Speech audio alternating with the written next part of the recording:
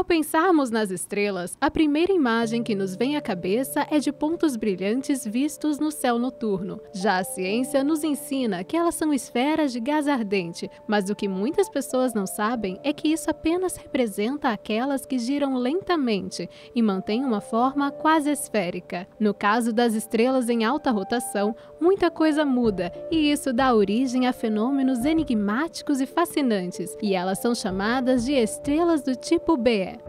Quais são os efeitos da alta rotação nessas estrelas? Qual é a importância de estudá-las? E qual é o papel do telescópio GMT nessas pesquisas?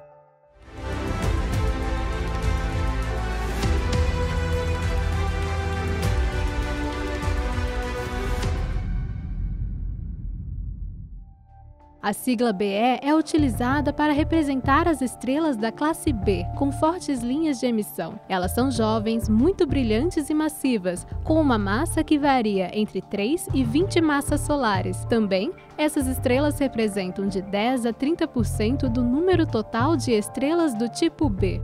As estrelas BE giram muito rápido, ao ponto de quase se despedaçarem, sendo de duas a três vezes mais rápidas do que uma estrela B típica. Por causa do rápido movimento em torno de seu próprio eixo, a estrela BE começa a se achatar e o equador se torna mais largo do que os polos. Essa forma achatada é chamada de oblata e é resultado da força centrífuga, que é forte no equador e anula nos polos da estrela. A força centrífuga pode ser sentida por nós de diversas formas. Por exemplo, quando um carro faz uma curva para um lado, os passageiros sentem seus corpos sendo jogados para o outro lado. Talvez você pense que esse tipo de estrela seja muito raro, mas isso está longe de ser verdade. Uma das estrelas mais brilhantes do céu noturno é a Quernar, que é inclusive o meu tópico de estudo da iniciação científica e é uma estrela BE. A Quernar é a estrela mais brilhante da constelação do Rio, Alfa Eridani, e ela, por ser muito próxima e muito brilhante, ela já foi observada por praticamente todos os tipos de instrumentos que os astrônomos inventaram.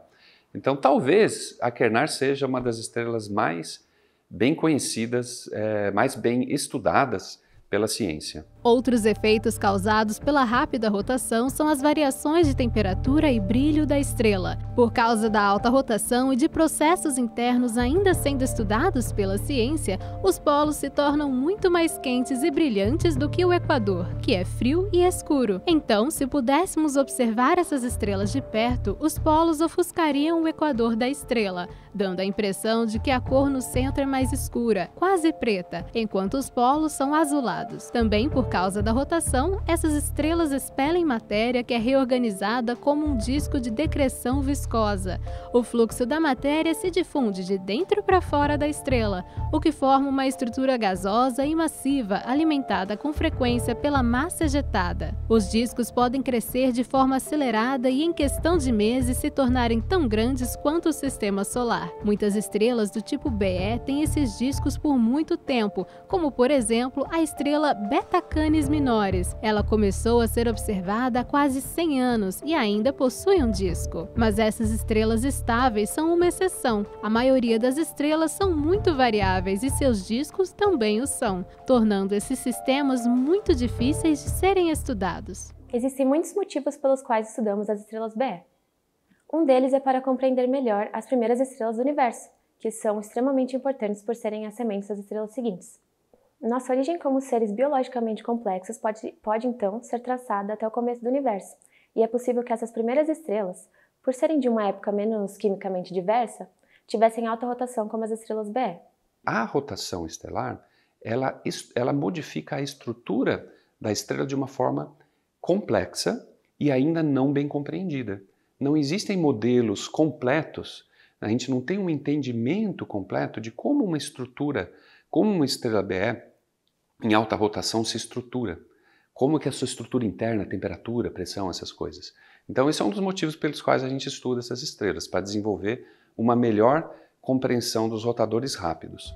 O uso da tecnologia de ponta do telescópio gigante Magalhães também irá possuir um importante papel nos estudos das estrelas do tipo BE.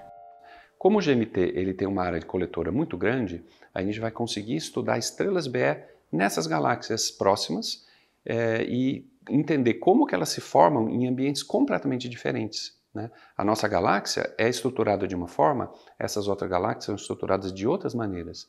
Então a gente quer estudar como que esse fenômeno BE, como essas estrelas em alta rotação surgem em ambientes diversos.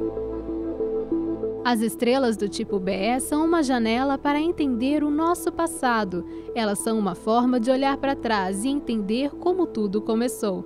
Através das novas pesquisas, os cientistas esperam desvendar mais segredos sobre essas estrelas tão únicas e assim saber mais tanto sobre a nossa origem quanto a do universo.